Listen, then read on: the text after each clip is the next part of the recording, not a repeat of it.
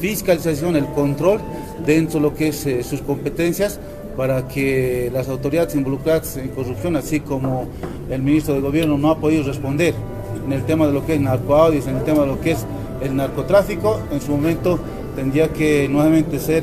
convocado, interpelado y seguramente nos llegará esta denuncia para que la Asamblea Legislativa pueda actuar y cumplir con su trabajo de fiscalización. Bueno, acá es claro y hay que decirlo de frente, lamentablemente hoy por hoy lo único que han hecho desde la parte ejecutiva, desde los ministros, es la persecución a lo que es a nuestro expresidente Moral Saima,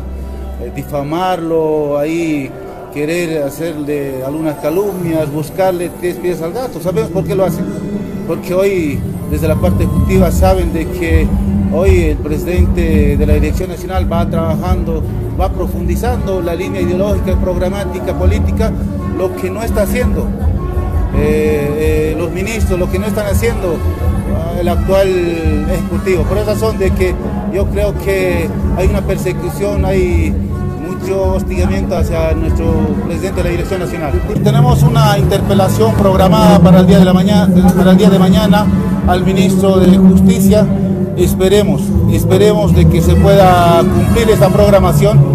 y esperemos de que desde la parte del presidente nato de la Asamblea Legislativa no esté manipulando, no esté desprogramando porque ya está fijada la fecha, es con un tema de lo que ha pasado el 2019, 2020, con el tema de Sencata, Guayani, cuántas personas intelectuales, materiales están encarcelados, los policías, los militares,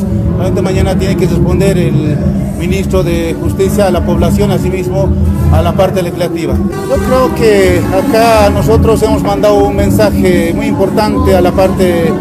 ejecutiva y al presidente Lucho. Lamentamos de que el presidente Lucho no haya, no haya hecho una lectura política, social, coyuntural. El día de mañana, el ministro que ha sido cuestionado no solamente desde la parte legislativa, el ministro ha sido cuestionado desde las organizaciones. Ustedes como prensa conocen perfectamente de que muchas de las organizaciones, el Pacto de Unidad, interculturales, las Bartolinas han pedido hace meses atrás su cambio, pero de repente de la noche a la mañana nos sorprendemos de que estas autoridades, estos dirigentes se prestan a defender, seguramente cuidando algunos espacios laborales, para sus familiares.